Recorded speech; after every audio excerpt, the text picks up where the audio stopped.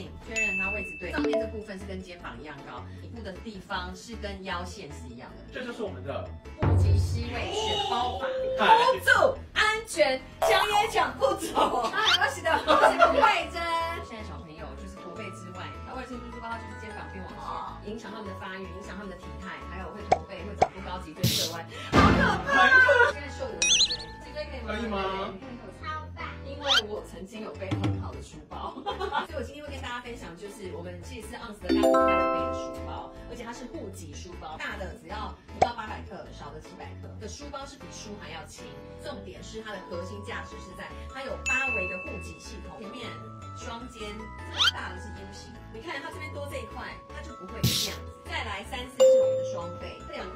肩胛骨？会一直去撞到吗？对，不会碰撞。再来是我们腰部这一块，小朋友一定跑来跑去，那个地方如果大力敲，你会造成手腰，或甚至呢你的那个尾椎骨碰撞受伤。在这个地方，你看它护住了就很好。蜂巢设计的背带跟背的部分嗯，撞击不会痛之外对，它自己也会很容易散热。你就不会整个汗流浃背、湿疹、汗疹、痛啊一大堆的。再来还有防倾束带，这是我们第六个，竖起来之后，有没有？你看书是不往前跑，你没有这个的话，它就是这样子。它书一定往前，啊，小朋友那书包就一直往后，一直往后，往后。你的脊椎因为歪，因为你就站姿不良，怎样都站不好，快气死。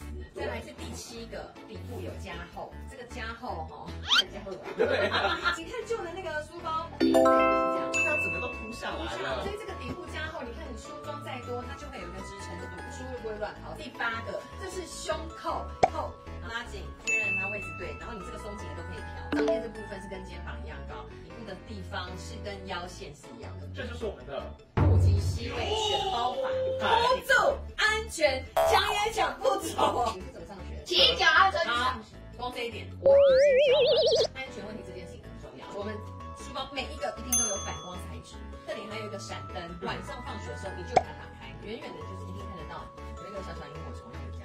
如果你在路上也遇到怪叔叔，来，你现在有一个东西可以引起所有人的注意。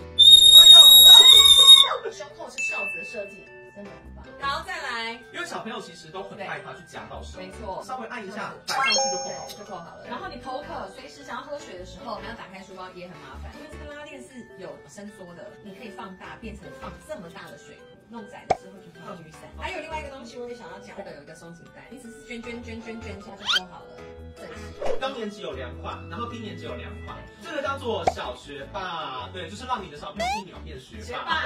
另外一款就是比较学生的，这个这个完全很像那个日本的小学生的书包。是的，叫小学者。低年级这个啊，你要跟大家说这是什么？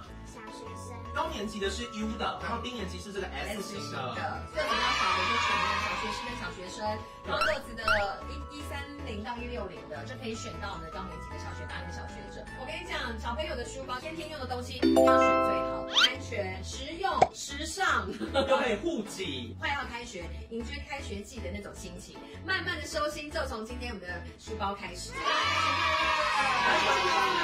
谢，拜拜。